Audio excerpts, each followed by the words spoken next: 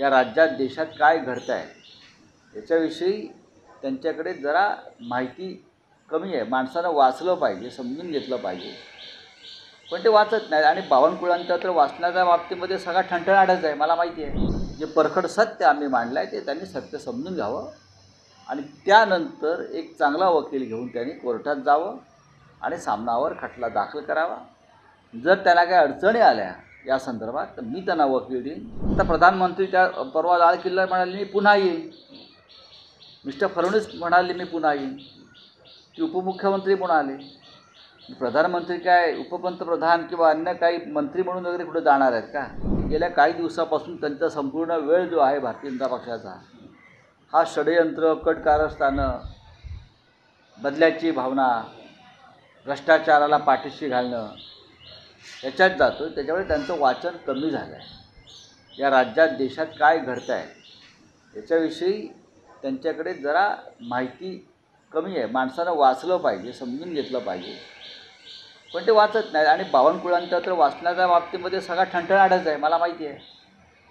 त्यांनी पुन्हा एकदा अग्रलेख वाचावा.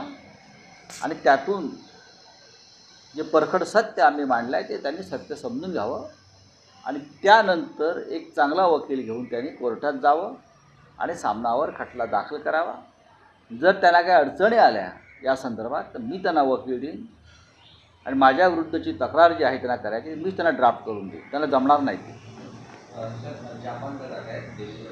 चांगली गोष्ट आहे. त्याने चीनलाही जायला पाहिजे. त्यांनी लेह लडाखलाही जायला पाहिजे.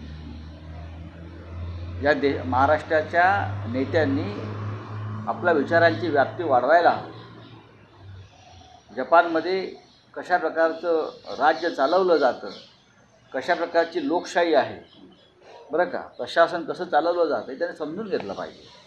आणि त्यानुसार महाराष्ट्रात काही बदल करता येतील का? हे त्यांनी जर पाहिलं तर नक्कीच आम्हाला आनंद आहे.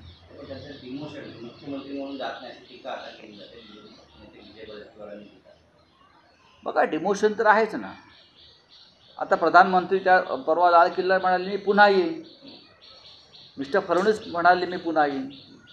की उपमुख्यमंत्री म्हणाले प्रधानमंत्री काय उपपंतप्रधान किंवा अन्य काही मंत्री म्हणून वगैरे कुठे जाणार आहेत का? ते मुख्यमंत्री होते त्याने मुख्यमंत्री पदावरच असायला पाहिजे. आता ते जपानला जात आहेत. ठीक आहे या देश राज्याचे गृहमंत्री आहेत.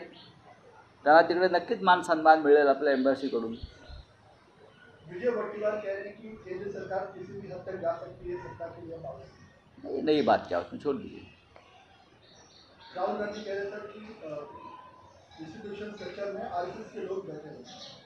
ये बात सही है बार बार ये बात सामने आई है।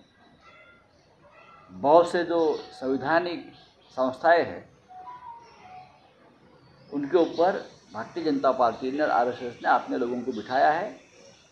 और देश का कल्चर बदलने की कोशिश चल रही है। देश का इतिहास बदलने की कोशिश चल रही है। लेकिन 2024 तक चलेगा बाद में नहीं चलेगा। चलिए थैंक यू वेरी मच एक महत्त्वाचा प्रश्न आहे अजितदादा मुख्यमंत्र्यांची अडचण करतात वाटते कारण ठाण्यात जो प्रकार घडला घडला काळगामध्ये अजितदादा एका बैठकीत म्हणाले एवढे मृत्यू ठाण्यामध्ये या हॉस्पिटलमध्ये कसे देवेंद्र फडणवीस मदतीला आले आणि त्यांनी विषय अजित पवार दादा हे अत्यंत परखड बोलण्यामध्ये प्रसिद्ध आहेत. राज्याचे प्रशासक म्हणून मंत्री म्हणून आतापर्यंत त्यांनी कधी लपवाछपवी केली असं मला दिसलं नाही. आणि ठाण्यातला जो प्रश्न आहे इतके मृत्यू कसे झाले मुख्यमंत्र्यांच्या भागात हा प्रश्न जनतेच्या मनात आहे. आणि तोच प्रश्न अजितदादाने प्रश्न विचारला असेल तर मला असं वाटतं की तो कॅबिनेटमध्ये विचारणं किंवा अन्य ठिकाणी विचारणं हे योग्य आहे